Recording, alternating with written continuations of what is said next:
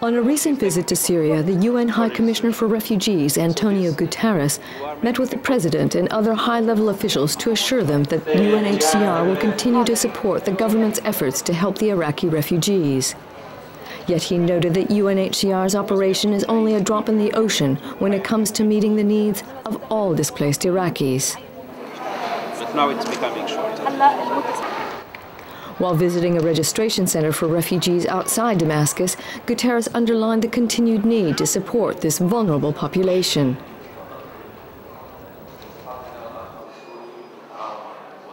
Well, I had the opportunity to speak with about 20 families 20 dramatic stories, different stories, but all carrying the same appeals. An appeal for more international solidarity, solidarity with Iraqis displaced themselves, solidarity with Syria and Jordan that are coping with such a huge challenge to support them, and uh, the capacity to provide them better protection, better assistance in education, in health, in all the other aspects of their life.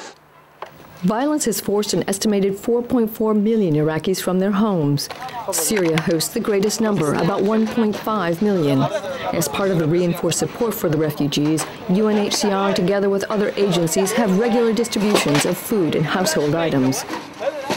The current exercise will help 150,000 of the most vulnerable Iraqis. Each family receives rice, beans, oil, mattresses, soap, and blankets.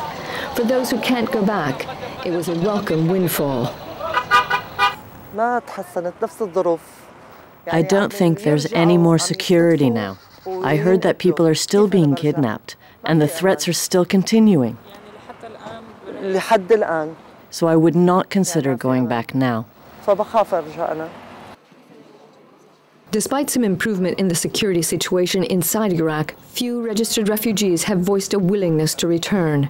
UNHCR says that 20% of those registered in Syria have been victims of violence or torture. For these cases, Guterres urged countries to offer more opportunities for resettlement. Many of these families will never be able to go back to Iraq. They've been submitted to torture, they've seen members uh, being killed, neighbors being killed.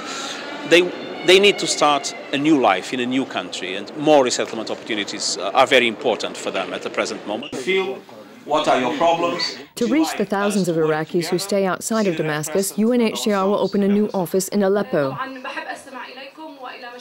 The High Commissioner met with a group of several hundred refugees there to assure them they had not been forgotten.